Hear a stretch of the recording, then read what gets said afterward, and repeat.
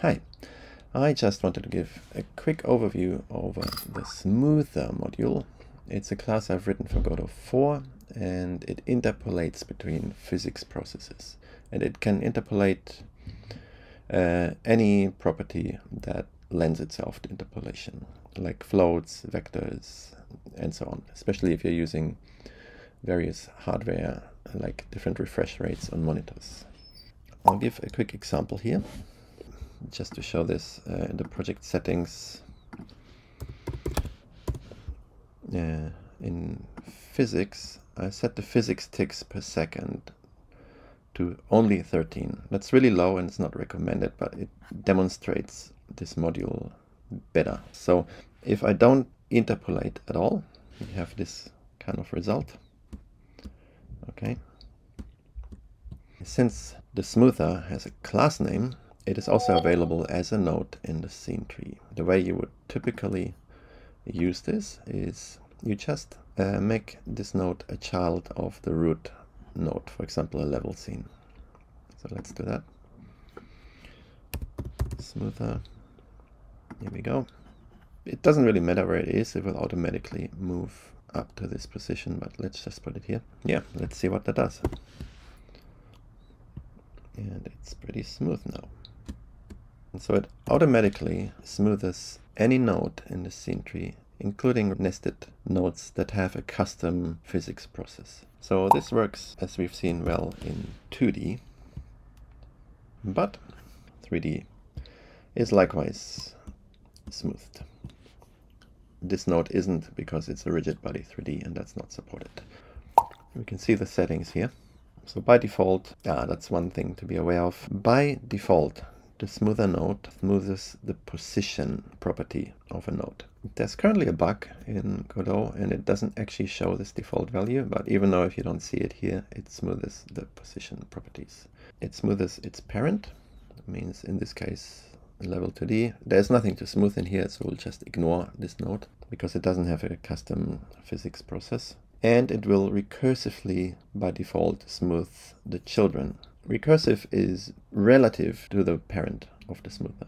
So if I have recursive on, then all children and recursive children of level 2D will be smoothed, interpolated. If I turn recursive off, then it will not actually smooth anything except the level itself. Usually you really want to turn this on, but there are a couple of situations where you probably want to turn it off. You may have noticed also that when I run this scene, and it is smoothed. Clearly the rotation is not smoothed. I can change that very easily.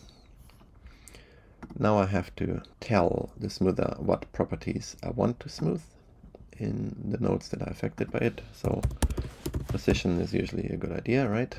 And then let's also add rotation. This could be any property even a custom property if you want to interpolate color or something, if that would make any sense. And if a node doesn't have that property, it would simply ignore it for that particular node. Let's see that again. You can see now rotation is also smoothed. There are two more options, includes and excludes. Includes, for example, if I wouldn't include anything here, and it wouldn't smooth anything, but you want one particular or two particular nodes to be interpolated, then you just add them to includes. Let's add player, for example, and maybe the second enemy. Okay, run this again.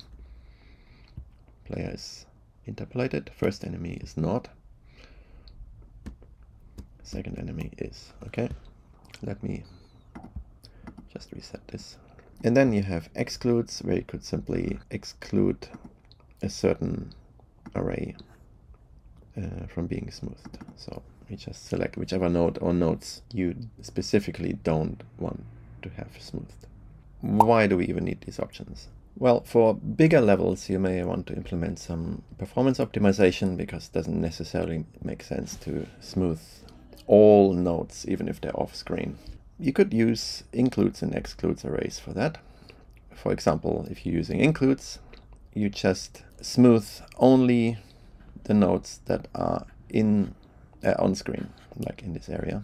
So you could, for example, like I've done here in the player sprite or in the enemy sprite, have a visible on screen notifier 2D that fires a signal.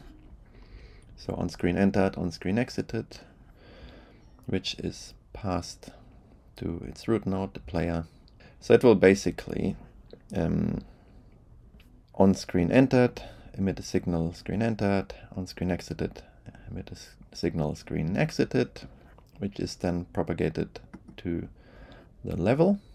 So in my level scene, that screen entered, screen exited signal is then dispatched to my level script, for example.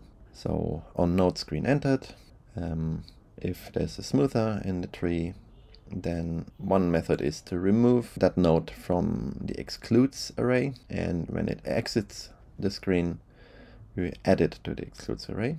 Or the other way around, on screen entered, we add the node to the includes array.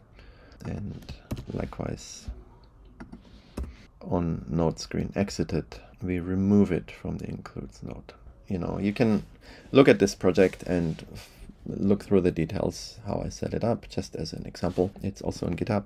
When I run this, you can see um, down here that I'm actually logging out which nodes are currently being smoothed. So they get dynamically added and removed from the smoother module. So right now it's the player, if you have a look down here. And now the enemy entered the screen, enemy exits the screen. So it's really quite efficient in this way enemy 1, enemy 2 enters. So for a brief moment here we had player enemy 1 and enemy 2 smoothed at the same time. One note here, um, you see this is a rigid body 2D. So rigid body 2D and rigid body 3D unfortunately are not supported by this module. Ah, one more note. So if, for example, I wanted to use the smoother for one particular node, I could just put it under the player. Since smooth parent is enabled, and we probably don't need recursive in this case. It will only interpolate the player. So let's try that again. Yeah. Wonderful. And everything else is not smoothed in this case. It really depends where it's located in the scene tree and naturally what the settings are. But besides that, you don't have to make any changes to your code you find this project on GitHub over here. So github.com, my name, Godot Smoother Node, and here's some documentation. I hope it's helpful. And also in a separate repository, there is like a demo test scene. It's all linked up here. So that's pretty much uh, the project I've shown you just before this one. Yeah, I hope that's helpful and happy coding. Have a wonderful day.